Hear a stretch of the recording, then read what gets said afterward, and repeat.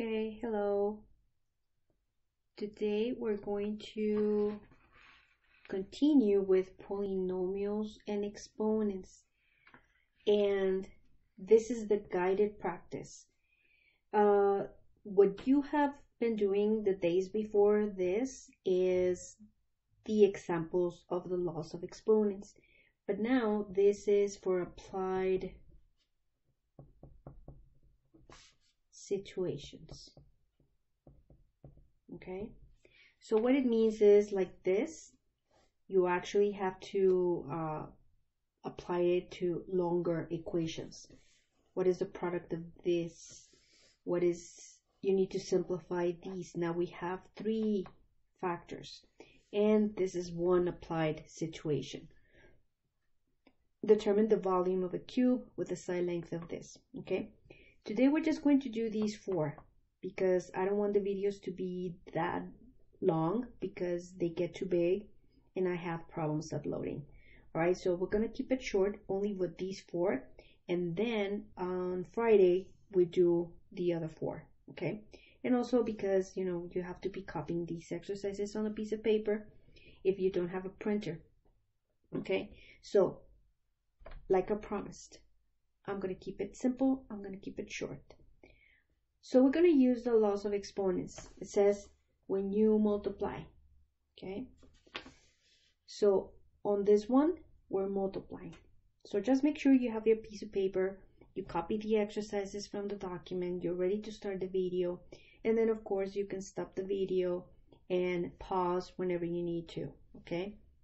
All right, so let's begin with this we already did exercises like these. I know that some of you already did your quizzes and you guys did very good. And I'm very happy and I'm very proud of all of you. All right. Okay, so we're going to be multiplying. Okay. Everything here is multiplying. But of course, we can only multiply A with the A. So let's multiply this one and this one. And then we're going to multiply b with the b. Okay, all right. So we're going to multiply them like this. So it's a, a to the fourth times a to the eighth. Remember, over here we're multiplying. Okay, so I'm going to begin with the a. a to the fourth times a to the eighth. When you multiply, what do you do? You add the exponent, so 4 plus 8, okay?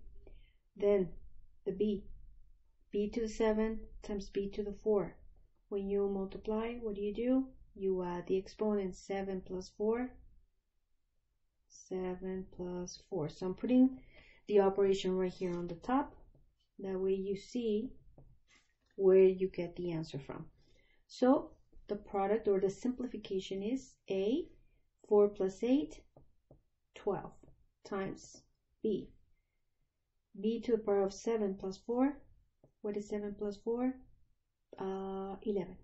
Okay, and this is your answer right here. Okay, that's it. On number two, they're asking you what is the product of this and this. Product means what results of multiplication.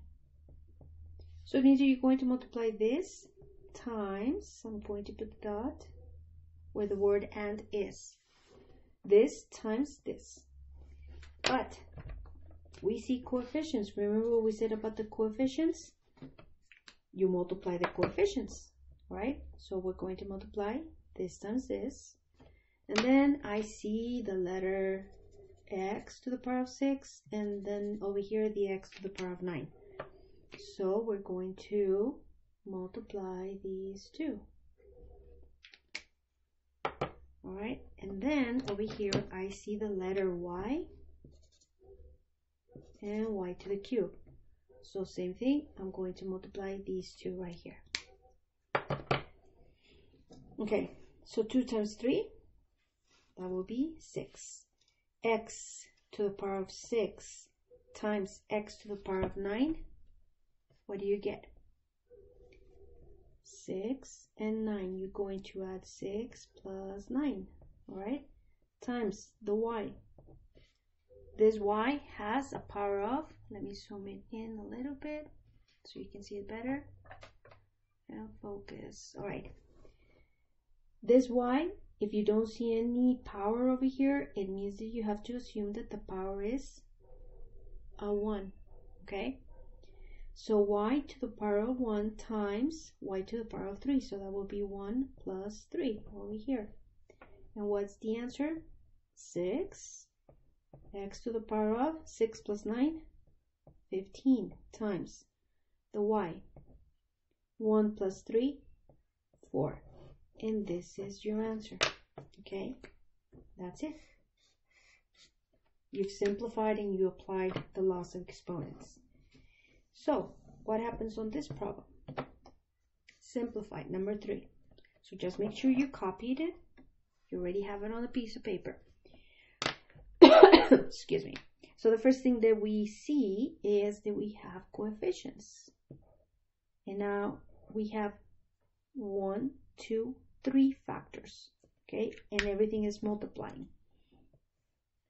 We're going to simplify applying the laws of exponents. So these three are going to multiply.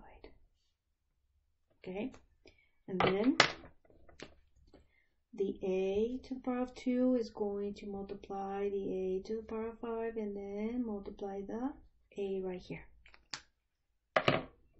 And then the b, b to the power of 5 is going to multiply the b to the power of 6 and then multiply the b. So I'm gonna do it uh, step by step so you can understand. So negative 4 times 3, don't break your head, don't get a headache, just put it in your calculator. I'm just going to multiply negative 4 times times 3 times what? Negative 5. This gives me 60. Oops, sorry. So the product of these three coefficients is 60, right? Now let's go with the a's. A 2 to the power of 2, 5, and 1. So we're going to, when you multiply, you add the exponents. So you're going to add 2 plus 5 plus 1.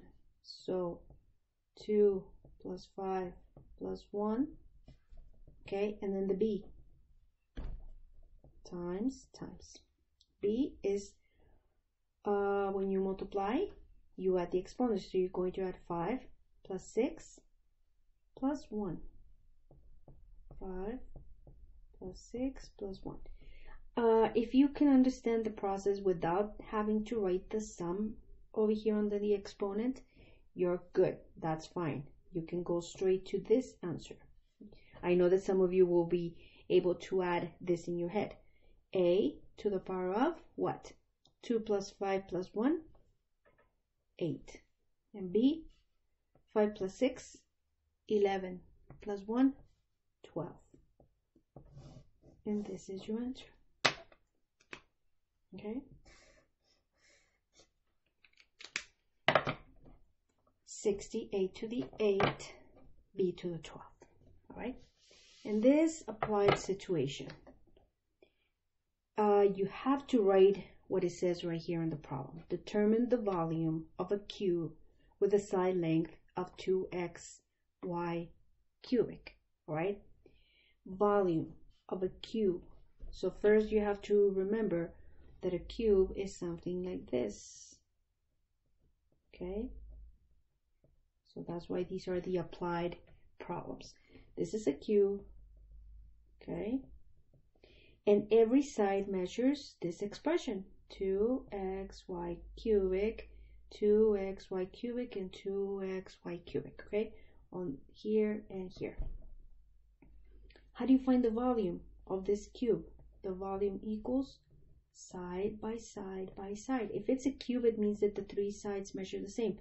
The length, the width, but in this case it's a cube. So